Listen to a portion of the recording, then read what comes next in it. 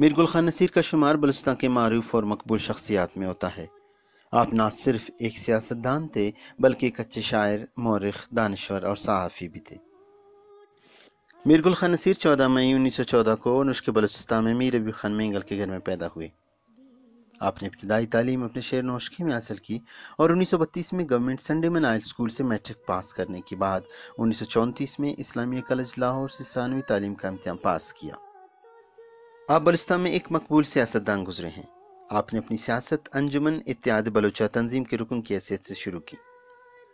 बाद बलुस्तान के नौजवानों ने जब अंजुमन इस्लामिया रियासत कलात की बुनियाद डाली तो आप पहली दफ़ा इसके सदर मंतखब हुए। नाजरी मीर गुल खान नसीर ने उन्नीस सौ इकतालीस में कलात स्टेट नेशनल पार्टी में शमूलियत इख्तियार की और नायब सदर मंतखब हुए। आप एक तरक्की पसंद सियासतदान थे। बलुस्तान में लोगों की पसमानदगी और इस्तेसाल के खिलाफ आप चुप न रह सके। आपने अपने सियासी सफ़र में उन्नीस सौ इकतालीस से उन्नीस सौ तिहत्तर तक कई बार जेल की सज़ा काटी और तशद भी बर्दाश्त करते रहे। आपने नेशनल अवामी पार्टी में शामिल होकर एक अहम सियासी किरदार अदा किया।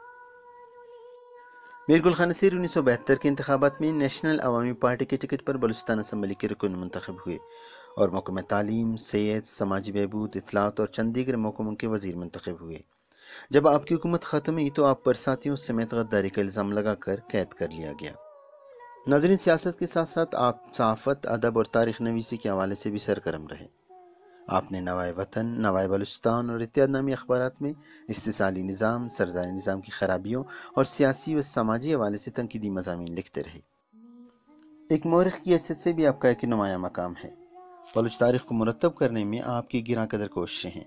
बलूच तारीख के हवाले से लिखे गए किताबों में तारीख़ बलूचिस्तान कोच व बलोच बलूचिस्तान कदीम और जदीद तारीख की रोशनी में हम मलजिहंद बलुस्तान के सरदी चापा मार तारीख खवानी कलात बलुस्तान की कहानी शायरों की ज़ुबानी और चंद दीगर किताबें शामिल हैं नाजरी मीर गुल खान नसीर बलूची बिरावी उर्दू और फ़ारसी में शायरी करते थे आप बलुस्तान के इनकलाबी शायरों में शुमार होते हैं और यही वजह है कि आपको मलकुल शोरा का खिताब दिया गया था आपने अपने कलाम का बेशतर हिस्सा अयाम असीरे में लिखा आम बलोच और इसकी बजगी ही आपकी शायरी का अहम मौजू रहा है। छः दिसंबर उन्नीस सौ तिरासी को आप कैंसर जैसे मोजी मरज की वजह से कराची में इंतकाल कर गए और आपको आपके आबाई शहर नुश्क में सुपरत खाक किया गया। बलूच तारीख, सियासत और अदब के हवाले से आपकी खिदमत सदियों याद रखी जाएँगी।